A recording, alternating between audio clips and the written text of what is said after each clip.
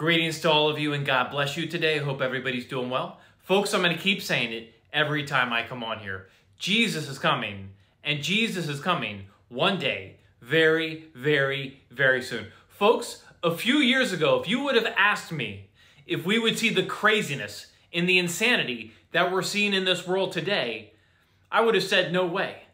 But I fast forward to today and how crazy and how insane it is all over the world. And all I can say, if you have eyes to see, you will see the Bible said this is exactly what it would look like in the last days. I mean, this is pure insanity. This is just in from the New York Post, recent article titled Transgender Woman. Uh, make no mistake about it, folks, this is a man Tra- transgender woman wins Miss Netherlands pageant for the first time and actually has a shot at Miss Universe. So let me translate to you, translate this to you. A man has just won the Miss Netherlands pageant for the first time and has a shot at Miss Universe. Let me read some of this to you. A transgender woman, this is a man, has been crowned Miss Netherlands for the first time, setting up a historic shot at becoming Miss Universe. So they're actually going to give a man a chance to become Miss Universe? That's insane. Rikkie Valerie Cole, 22 years old, held her hands over her mouth in shock as she was named the winner on Sunday to a soundtrack of the Sia song Unstoppable. Some of the other finalists standing at the back of the stage looked at each other, with some appearing to grimace awkwardly at the unprecedented decision. The Miss Netherlands official Instagram page also celebrated the win by the beautiful trans contestant. This finalist shined throughout the show and has also made the greatest progress along the way, the pageant wrote of the judge's decision.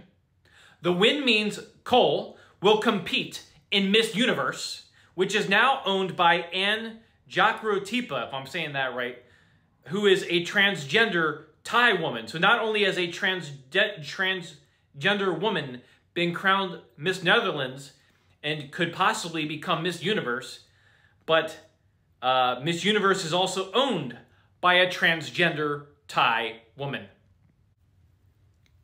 But years ago, if you would have told me that this is something that would really happen, I would have been like, oh, there's no way. But here we are, folks. Again, a transgender woman, a man has won the Miss Netherlands pageant for the first time and actually has a shot at becoming Miss Universe.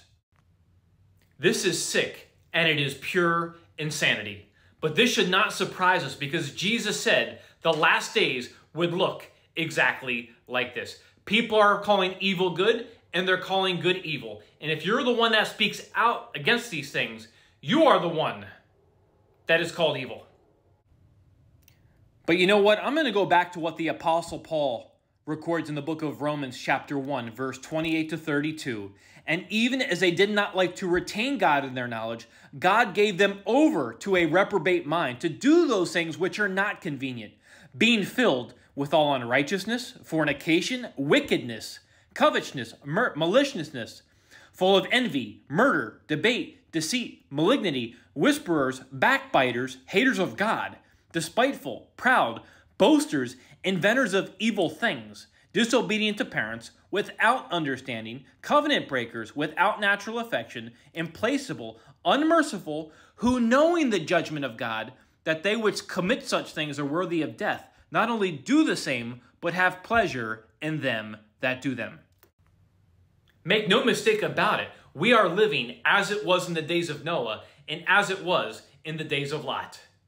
They have been given over to a reprobate mind. Jesus is coming soon. Again, years ago, you could have told me that stuff, stories like this, and others that are happening almost on a hourly basis now, more like a secondly basis, uh, you would have told me stuff like this would happen. I would have laughed at you. But now I look at what my Bible says, and Jesus said the last days would look exactly like this. Jesus is coming soon. And all I can tell you, if you're not saved and you're watching this video right now, you can get saved right now. This isn't about religion. What do you have to do to be saved? Put your faith and your trust in the blood of Jesus Christ right now. Believe Jesus Christ died on the cross for your sins. The sin debt that you could never pay on your own, Jesus Christ paid it in full with his blood on the cross so you could be reconciled back to him, forgiven of your sins, and be with them forever in heaven. So you're believing Jesus Christ died on the cross for your sins. He was buried and he rose again. He resurrected on the third day as it is written in the scriptures. Jesus Christ is the only way to the kingdom of heaven, and he's the only name that can save you. Heaven and hell are very real literal places, and you will spend an eternity in one of those destinations. Hell's a real place. Eternal torment, eternal separation from God. I don't want you to go there. Jesus does not want you to go there. But if you die without him, you will be separated from God for eternity in hell, and I am going to tell you the truth because I love you. Don't wait another second. Put your faith in your trust in the blood of Jesus right now. Believe he died on the cross for your sins.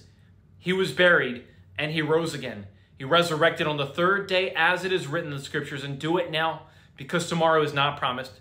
And make no mistake about it, Jesus is coming, and he's coming one day, very, very, very soon. Keep looking up, keep watching with me, and God bless you all.